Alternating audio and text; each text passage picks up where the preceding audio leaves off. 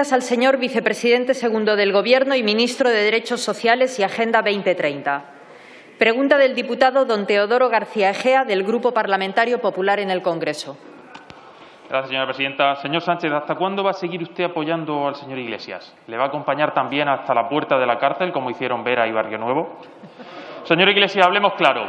Usted puede ser juzgado en el Tribunal Supremo por tres graves delitos con agravante de género. Es decir, para que todos nos entendamos, usted está pendiente de que sea juzgado por utilizar de forma corrupta la justicia y, además, por machista. Diría Sánchez, moderado, pero machista. ¿Va a decir algo de esto Silencio, la ministra de Igualdad? ¿Va a decir algo de esto? Porque han tirado ustedes por tierra la lucha de miles de mujeres que ven que si el machista se sienta en el Consejo de Ministros, uno se calla. Eso es lo que han hecho ustedes. Silencio, y por usted, favor. señora Calvo, y usted, y usted, señora Calvo, ¿qué siente al estar sentada al lado de un señor que va a ser juzgado por machista?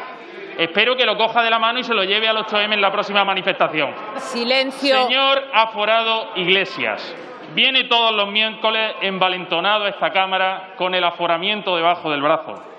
¿Por qué no comparece usted voluntariamente? Manda usted las sordas en Twitter, en la calle, a acosar al juez y a acosar incendiando las calles. pero- Silencio, por favor. Señor, señor Guijarro, por ¿Qué? favor. ¿Qué tiene usted que ocultar? Y aún dice la ministra Yolanda. Díaz que usted lo está pasando mal. ¿Sabe quién lo ha pasado mal?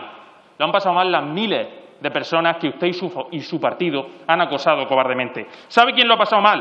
Las familias de los cargos y trabajadores del Partido Popular que su partido y usted acusaron injustamente y que luego resultaron ser inocentes. Señor Iglesias, por decencia, ¿va a dimitir? ¿Entre tanta corrupción le da tiempo a ocuparse de la vicepresidencia?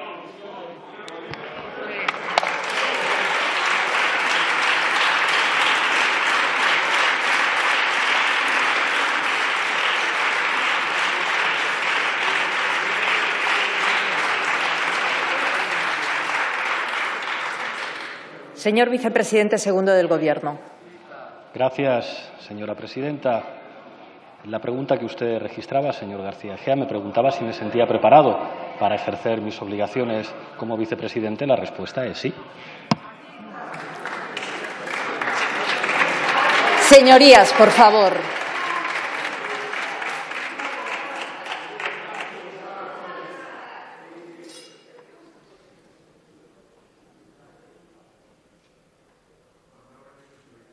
Les ruego silencio.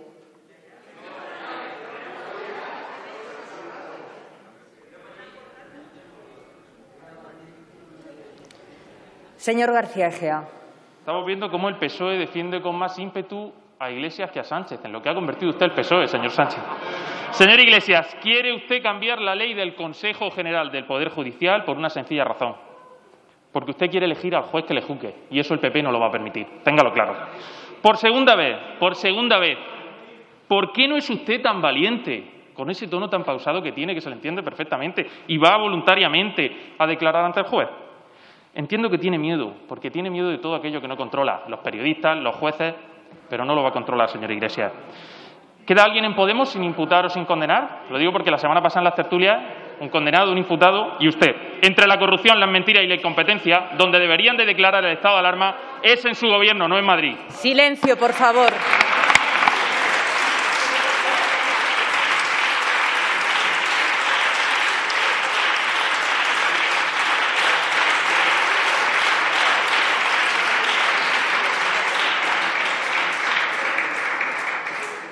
Señor vicepresidente segundo del Gobierno. Gracias, señora presidenta. Señor García Egea, usted es una persona inteligente.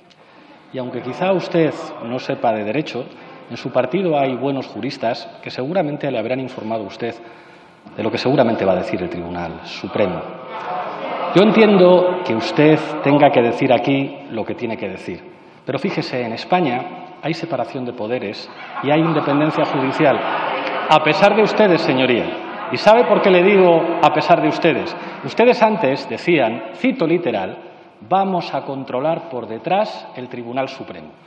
Lo decían en privado, pero es que ahora lo dicen en público. El domingo, en un periódico de derechas, su cargo público más importante, la señora Ayuso, decía abiertamente, la oposición al gobierno de coalición soy yo, el rey y el Poder Judicial. ¿Usted es consciente de la temeridad de esas declaraciones en un periódico de derechas por parte de la señora Ayuso? Me va a permitir que le dé un consejo paradójico viniendo de un republicano. Dejen ustedes de atacar a la jefatura del Estado. Si el señor Manuel Fraga Iribarne, que era muy de derechas pero muy inteligente, viviera y viera que aparecen ustedes en un vídeo con Germán Terz defendiendo al rey, les echaba del partido no por fachas, sino por su enorme cretinismo, señoría. Lo que yo le puedo decir aquí es que este Gobierno va a defender el Estado de Derecho, la independencia judicial y las instituciones. Muchas gracias, señoría.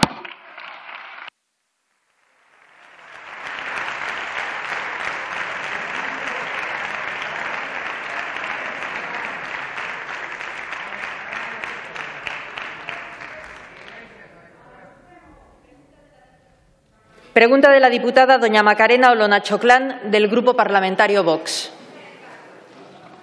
Por reproducida, señora presidenta.